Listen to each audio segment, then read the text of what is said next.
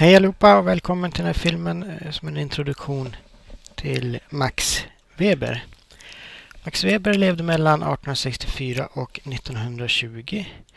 Jag ska gå igenom lite kort om hans biografi och akademiska karriär och lite grann om Max Webers betydelse för sociologin. Om vi tittar på biografin så Max Weber var född i Preussen. Eh, hans far var hette också Max Weber, men då Max Weber senior och han var också han var, och hans far var, också, var medlem i Nationalliberalerna och det här innebar då att, att Max hade en hel del när han växte upp hade en hel del liksom umgänge i sitt hem eh, utifrån de här partimedlemmarna. Då.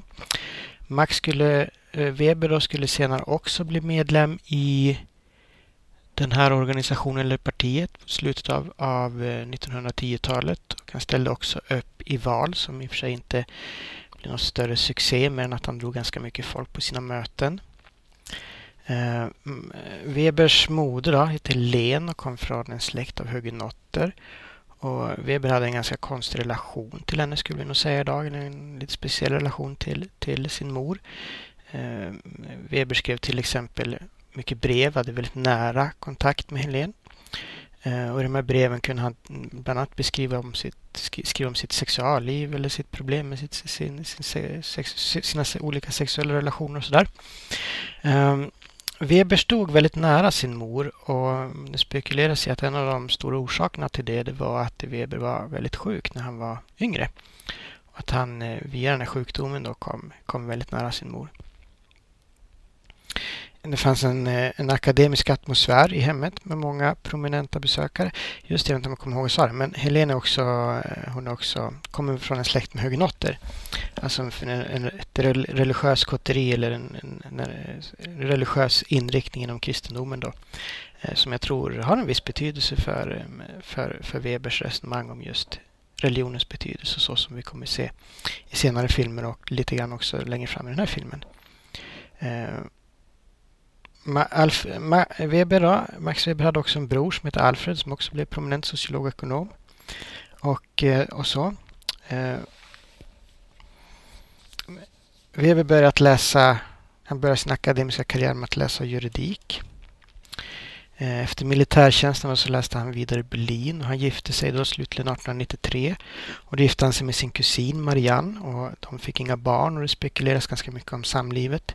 Eh, Weber hade i slutet av 1910-talet också en älskarinna som Marianne visste om och som efter eh, Webers död som hon blev god, god vän med.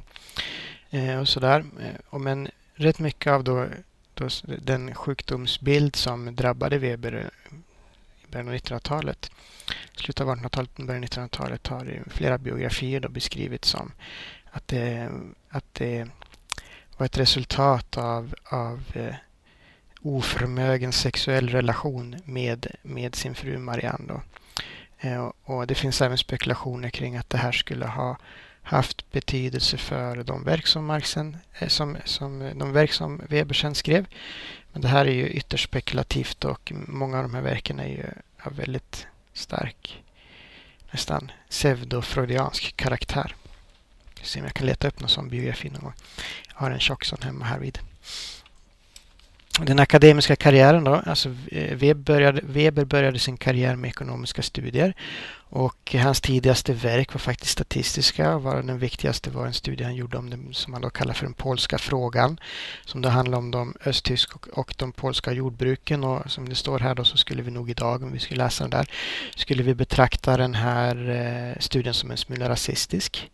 I alla fall väldigt eh, nationalistisk. För att det Weber gör i den här studien då är att han försöker påvisa liksom, eh, de problem som finns med jordbruken i Polen och egentligen då härleder det tillbaka till den bristande civilisationen som finns i Polen och att det egentligen vore bra om Tyskland kunde ta över hela Polen för att då skulle man kunna civilisera landet och därmed också förbättra jordbruket.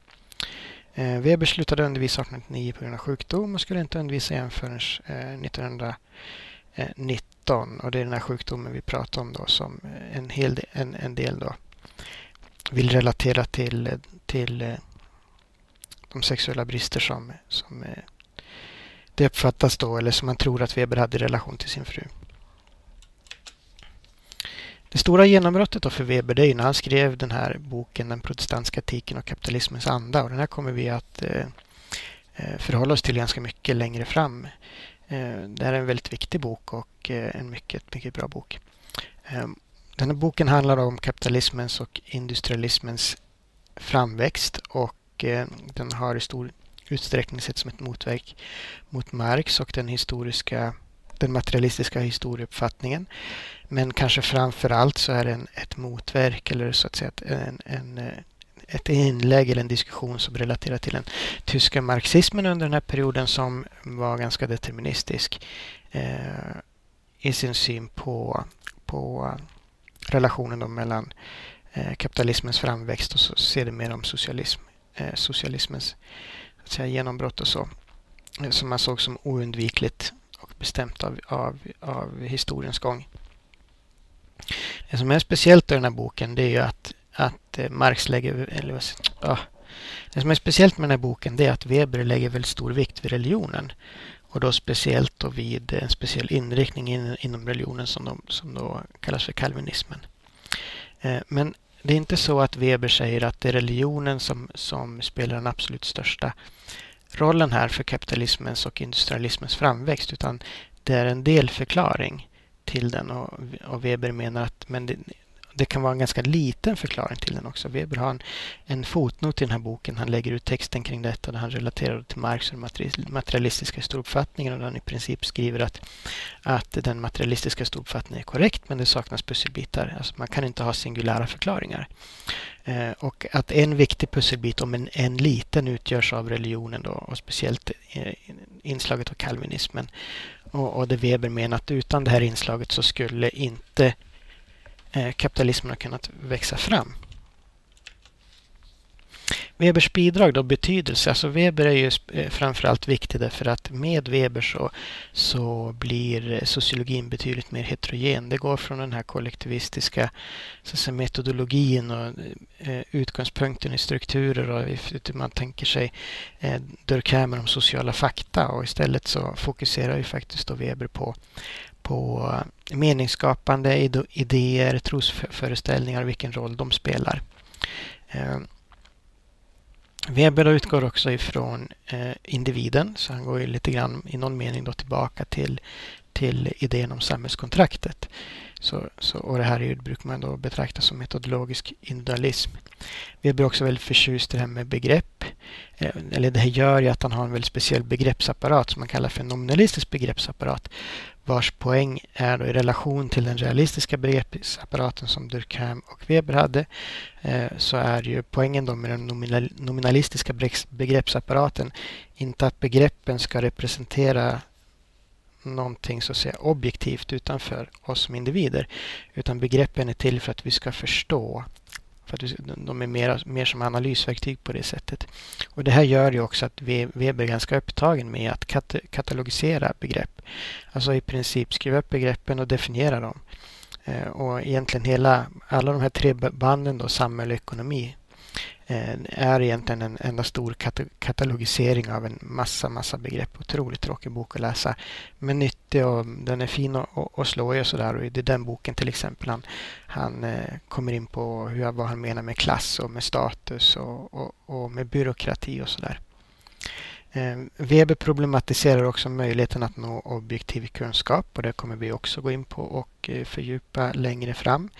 Eh, men här är den viktigaste poängen då, det är att, att Weber säger att det finns en, en eh, given skillnad mellan naturvetenskapen och samhällsvetenskapen eh, på det viset att inom samhällsvetenskapen så utgör den som så att säga studerar ett objekt utgör också en del av det objekt som man själv studerar. Det finns lite andra aspekter också kring det här som, som Weber lyfter. Eh, och då menar Weber utifrån det här då, är det här egentligen sånt som här leder också till, till ehm, till Kants filosofi som vi tog upp tidigare på introduktionsföreläsningen. Så det här härleder, härleder också till att, att vi människor kan inte nå objektiv kunskap utanför våra erfarenheter. Eh, och Det här kan man också i sin tur härleda till betydelsen av den nominalistiska begreppsapparaten. Så att kunna, för att vi ska kunna förstå samhället så ska vi inte så ska vi inte utgå ifrån att vi ska undersöka objektiv kunskap utan vi ska bygga begreppsapparat, vi ska bygga begrepp, ska utgå från begrepp som vi senare kan använda som idealtyper och de idealtyperna kan hjälpa oss att förstå hur samhället fungerar och så vidare. Så det var en kort introduktion till eh, Weber. Då Ses vi i nästa film.